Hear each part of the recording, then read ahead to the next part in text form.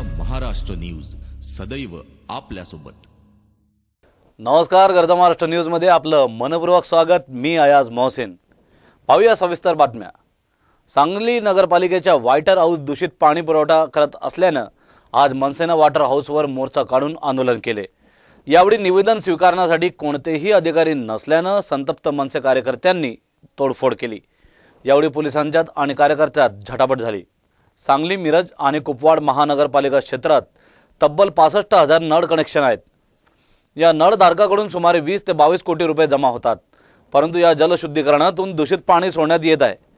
यासाठी आज मनसेच्या वतीनं व्हायटर हाऊसवर मोर्चा काढत या कार्यालयाचे वीस रुपी असे नामकरण करण्यात आले. आणि यावेळी निवेदन स्वीकारण्यासाठी कोणतेही अधिकारी नसल्यानं संतप्त मनसे कार्यकर्त्यांनी जोरदार तोडफोड केली. यावेळी पोलिसात आणि कार्यकर्त्यात झटापटही झाली. जर शुद्ध पाणी पुरवठा झाला नाही तर नागरिकांना बिले भरू देणार नाही असा इशाराही मनसेतर्फे देण्यात आला सांगली महापालिका हद्दीतील जवळजवळ साडेपाच लाख लोकांना पासष्ट हजार अधिकृत नळ कनेक्शन धारकांना हिराबाग जलशुद्धीकरण केंद्रातून व माळ बंगला जलशुद्धीकरण केंद्रातून वीस रुपये पा पाणी पाजण्याचं काम केलं जातंय. आणि त्याच्या विरोधात या ठिकाणी महाराष्ट्र निर्माण सेनेच्या वतीनं निदर्शनाचा कार्यक्रम आयोजित केला होता. हे शुद्धीकरण केंद्र नसून हे वीस रुपये पाणी वाटप केंद्र आहे अशा पद्धतीचा फलकही आम्ही त्या ठिकाणी ठ- या जलशुद्धीकरण केंद्राच्या इमारतीवर ठोकलेला आहे. ह्या केंद्रातून जे शुद्धीकरण प्रक्रिया चालती ती शुद्धीकरण करण्याचं पाणी शुद्धीकरण करण्याचं जे तपासणी यंत्र आहे ते गेले पाच वर्षापासून बंद पडलेलं आहे. या शा या ठिकाणी जी शुद्धीकरणासाठी तुरटी वापरली जाते ब्लिचिंग पावडर वापरली जाते ती निकृष्ट दर्जाची आहे. ते शुद्धीकरण केंद्रामध्ये प्रचंड घाणीचं साम्राज्य आहे. त्या तुरटीवर ब्लिचिंग पावडरवर मावा घुटका खाऊन ते कर्मचारी थुंकतायत.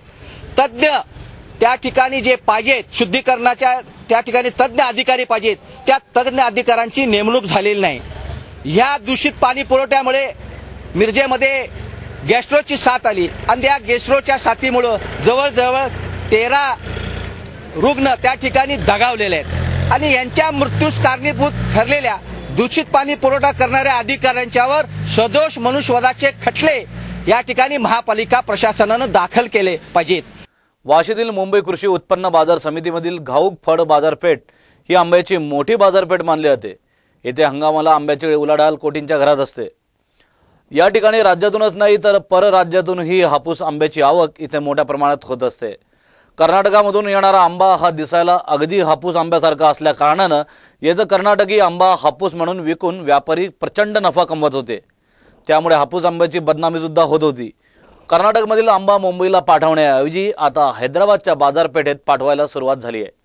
हा आंबा चवीला काहीसा आंबट लागतो. कोकणातला हापूसचा खरा हंगाम हा गुढीपाडव्याला सुरू होतो. आणि तेव्हा मोठ्या प्रमाणात सर्व ठिकाणाहून आंबा बाजारात यायला सुरुवात होते. आता खरा हापूस आंब्याचा आस्वाद घ्यायला मिळेल आणि फसवणूक ही होणार नाही असा लोकांना विश्वास वाटत आहे. लोणावळा येथील कुमार रिसॉर्ट येथे सात वर्षीय चिमुरडीच्या हत्येला आज आठ दिवस उलटूनही आरोपी मात्र गदाआड करण्यात पोलिसांना यश आलंय.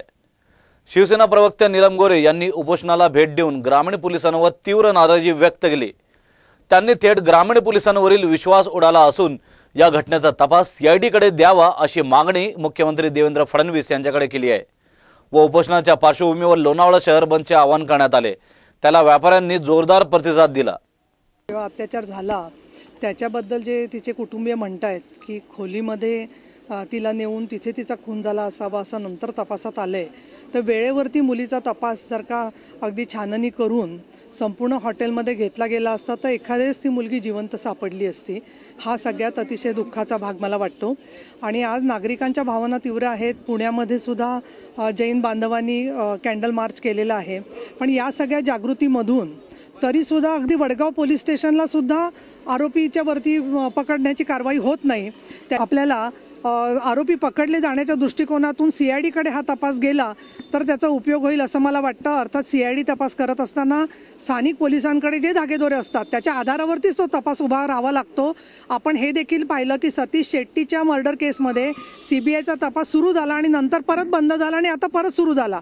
त्यामुळे प्रश्न असा येतोय की मुळामध्ये ह्या आरोपींना ज्या ठिकाणून बळ मिळतं आहे त्याच्या धागेदोरेपर्यंत पोलिसांनी पोचलं पाहिजे अशी आमची अपेक्षा आहे. स्वतः सन्माननीय मुख्यमंत्री देवेंद्र फडणवीस यांचं प्रत्येक घटनेकडे लक्ष असतं. पण ते लक्ष पोलिसांच्या कार्यक्षमतेमध्ये प्रतिबिंबित व्हावं अशी आमची त्याच्याबद्दलची अपेक्षा आहे. या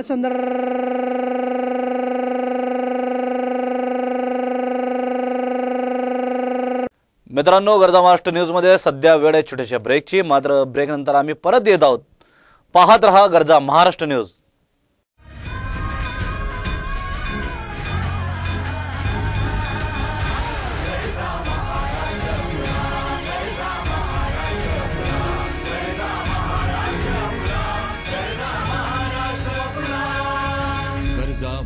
महाराष्ट्र न्यूज सदैव आपल्यासोबत. ब्रेकनंतर पुनश्च एक वार आपलं मनपूर्वक स्वागत. पुन्हा पाहूया सविस्तर बातम्या. आताची बातमी गडचिरोलीतून. गडचिरोली जिल्ह्यातील अतिदुर्गम भामरागड तालुक्यात पोलीस विभागाकडून भामरागड सारख्या आदिवासी दुर्गम भागात पोलिओच्या टीकेपासून कोणीही वंचित राहू नये याकरता भामरागडचे एसडीपीओंनी पुढाकार घेतला. यावेळी पोलिओचा डोस चक्क एसडीपीओ विशाल ठाकूर यांनी एका बाळाला पाजला. भाजपाच्या नगरसेविका राजश्री शिरपत पलांडे यांना लाच घेण्याप्रकरणी अटक करण्यात आली आहे. अनधिकृत बांधकाम विरुद्ध एम आर टी पी अंतर्गत कारवाईबाबत प्रशासनानं पाठवलेली नोटीस रद्द करण्यासाठी लाच घेण्याचा उघड झालाय. त्यासाठी एका व्यक्तीला लाच स्वीकारण्यात राजश्री पलांडे यांनी सांगितल्याचे पुढे आले. राजश्री पलांडे यांना अटक झाल्यानंतर शनिवारी त्यांची भाजपमधून हकालपट्टी करण्यात आल्याचे समजते. चेंबूर परिसरात अनधिकृत बांधकाम केल्याप्रकरणी फिर्यादीवर पालिकेने एमआरटीपी कायद्याअंतर्गत कारवाई करण्याबाबतची नोटीस रद्द करण्यासाठी एक लाख रुपयाची मागणी राजश्री पलांडे यांनी केली होती. याबाबत फिर्यादीनं लाचलुचपत प्रतिबंधक विभागाला तक्रार दिली. त्यानंतर अधिकाऱ्यांनी ही थेट कारवाई केली. आता बातमी क्रिकेट वर्ल्ड कपची. एका पाठोपाठ एक असे पराभव पत्करत इंग्लंडनं अखेर सोमवारी स्कॉटलंडवर एकतर्फी विजय मिळून स्पर्धेतील पहिल्या विजयाची नोंद केली. इंग्लंडनं स्कॉटलंडवर एकशे एकोणावीस धावांनी विजय मिळवला. इंग्लंडच्या विजयाचा नायक ठरला मोईन अली खान. फलंदाजीबरोबर गोलंदाजीत ही चमक दाखवत मोईन अलीने स्कॉटलंडच्या दोन महत्त्वाच्या फलंदाजांना बाद केले आणि अशा प्रकारे अष्टपैलू कामगिरी करून दाखवली. इंग्लंडने दिलेल्या तीनशे चार धावांच्या लक्ष्याचा पाठलाग करताना स्कॉटलंडचा डाव फक्त एकशे चौऱ्याऐंशी धावात संपुष्टात आला. स्कॉटलंडकडून सलामीवीर काईल कोइटझरनं सर्वाधिक एकाहत्तर धावा केल्या. मोईन अलीने त्याला ख्रिस वोक्स करवी झेलबाद केले. कोइटझर वगळता सर्व फलंदाज सपशेल अपयशी ठरले आणि स्कॉटलंडचा डाव एकशे चौऱ्याऐंशी डावात कोलमडला. मोईन अलीने सर्वाधिक एकशे अठ्ठावीस धावा आणि इयान बेलनं चौपन्न धावा केल्या. मोईन अलीनं आपल्या शतकी खेळीत बारा चौकार आणि पाच सणसणीत षटकार लगावले. धावांसाठी चाच पडणारा कर्णधार इयान मोर्गननीही आश्वासक अशी खेळी केली. त्याने फक्त बेचाळीस चेंडू शेहेचाळीस धावा चोपून काढल्या. मित्रांनो तुर्तास इथेच थांबूया. मात्र आपण पाहत रहा गरजा. महाराष्ट्र न्यूज. सदैव आपल्यासोबत. सदैव आपल्या पाठीशी.